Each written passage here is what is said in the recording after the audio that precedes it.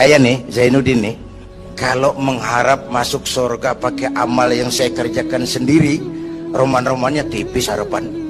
Sholat saya berapa banyak saya tahu. Sedekah saya berapa duit saya tahu.